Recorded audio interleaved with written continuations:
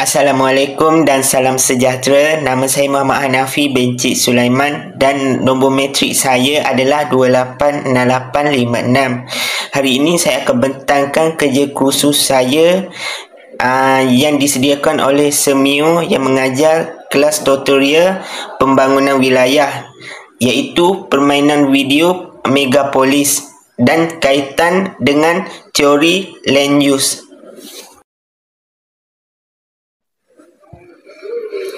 Hasil saya bermain permainan video game Megapolis, saya namakan bandar saya ialah Bandar Suci kerana bandar saya saya memperbanyakkan tanaman pokok kerana ia memperindahkan alam uh, alam sekeliling dan dapat menyejukkan bandar dan menyerap gas-gas uh, yang tidak baik untuk manusia seperti gas karbon dioksida dan gas monoksida. Namun begitu juga pokok mengeluarkan uh, gas oksigen yang diperlukan oleh uh, manusia dan wap-wap air.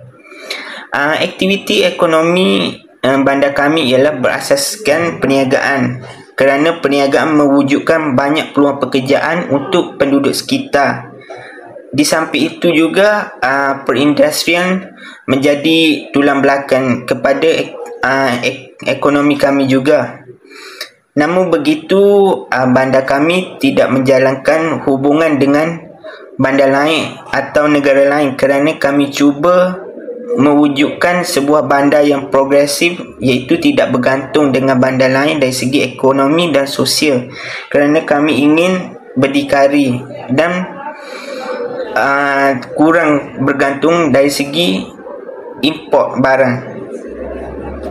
Dan banyak lagi dan mercu tanda bandar kami ialah Big Ben yang seperti anda dapat lihat di gambar sebelah ini yang di bawah itu itulah big, uh, mercu tanda kami yang mempunyai anak panah.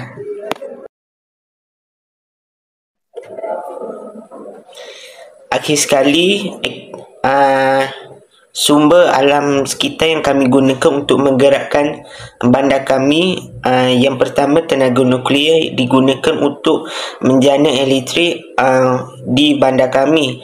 Selain itu juga tenaga angin juga digunakan untuk menyokong uh, tenaga elektrik di bandar kami disebabkan pertambahan penduduk sabar tahun.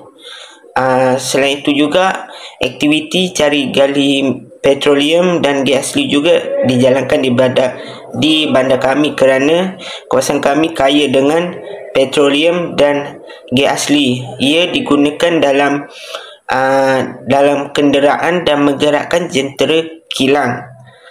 Uh, selain itu juga aktiviti pelombongan juga dijalankan di bandar kami disebabkan uh, di kawasan kami khususnya di pinggir bandar di luar bandar kami kaya dengan sumber-sumber alam batu-batuan seperti batuan granite yang amat diperlukan oleh industri untuk uh, membuat uh, produk kerana ia tahan lama dan berkualiti. Uh, nam, oleh itu bandar kami uh, telah menggunakan teori uh, multiple nuklear uh, untuk menyusun bandar kami kerana uh, banyak uh, perumahan golongan menengah golongan menengah dan golongan bawahan berada di kawasan pinggir-pinggir bandar. Selain itu juga uh, industri-industri berat berada di kawasan luar bandar kerana uh, untuk mengelakkan pencemaran. Contohnya pencemaran bunyi pencemaran alam uh, pencemaran udara iaitu pelepasan uh, gas-gas dan mengelakkan penyebaran uh, penyakit seperti batuk ataupun sebagainya.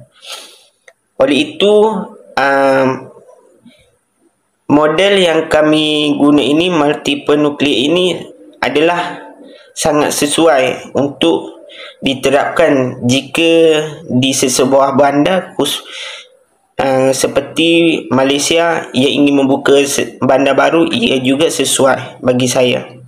Itu saja.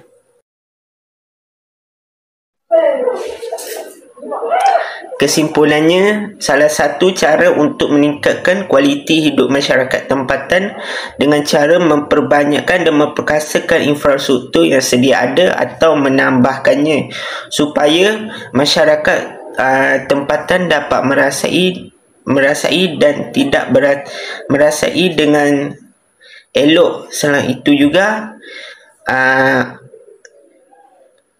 Model yang saya gunakan dalam perancangan bandar saya ialah multiple nucleus. Ia juga memainkan peranan penting dalam peletakan sesuatu uh, industri, perumahan dan sebagainya.